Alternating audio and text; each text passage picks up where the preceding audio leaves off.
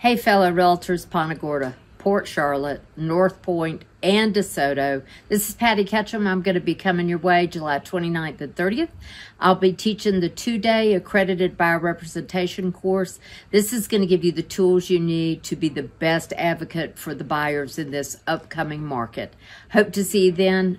Call, sign up. This is Patty Ketchum. See you soon.